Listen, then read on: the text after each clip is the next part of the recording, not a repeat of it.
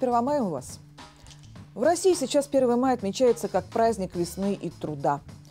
Такое же название используется в Таджикистане, а Украина по-прежнему отмечает День международной солидарности трудящихся. В Казахстане в этот день отмечается праздник единства народа Казахстана. А в Белоруссии, Киргизии, Китае, Пакистане и Шри-Ланке празднуют День труда. Дни, посвященные труду и трудящимся, существуют в 142 странах мира – хотя не все не празднуют с 1 мая. А в первоначальном виде праздник установлен Парижским конгрессом Второго интернационала в июле 1889 года в память о жертвах Чикагского бунта на Хеймаркет. Что такое бунт на Хеймаркет? Это протестный митинг американских рабочих на площади Хеймаркет, то есть Сеной рынок, 4 мая 1886 года в городе Чикаго под лозунгом борьбы за восьмичасовой рабочий день во время которого был совершен теракт. Бомбой, брошенной в полицейский отряд внедренным агентом, было убито несколько полицейских и рабочих, после чего стражи порядка открыли огонь по митингующим. Это событие послужило поводом для ареста восьми анархистов. Четверо из них по приговору суда были повешены. Давайте поговорим о том, зачем люди выходят на улицы. Что изменится от того, что вы вышли с красной гвоздикой в центр Берлина выразить солидарность трудящимися? Или не вышли? Или присоединились к исконно боевому Кроуцбергу? Хотя вряд ли. Когда люди выходят на улицу, им все понятно. Им хорошо или им плохо. А скорее им нормально. Есть дача, есть гости, есть поездка на природу. Так хорошо же. Конечно, хорошо. А эти, кто выходят, им делать нечего? Но нет.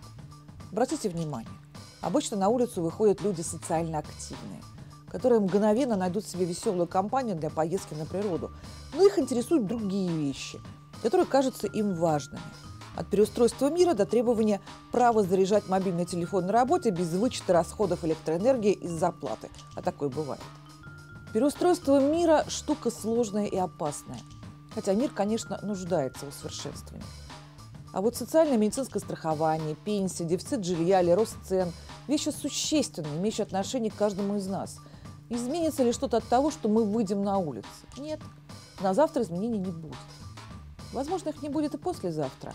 Но общество таким образом показывает свое несогласие с существующими порядками и отмечает неприятности типа роста цен и сигнализирует политикам. Конце концов, давайте вспомним, что рабочие в Чикаго требовали 8-часового рабочего дня, что давно стало нормой для цивилизованного мира. Так зачем? Зачем консервативные демонстрации с гвоздичками и шариками? Зачем левацкие битвы в Кройцберге или в Брюсселе, в Париже и в Лондоне? Действительно праздник весны.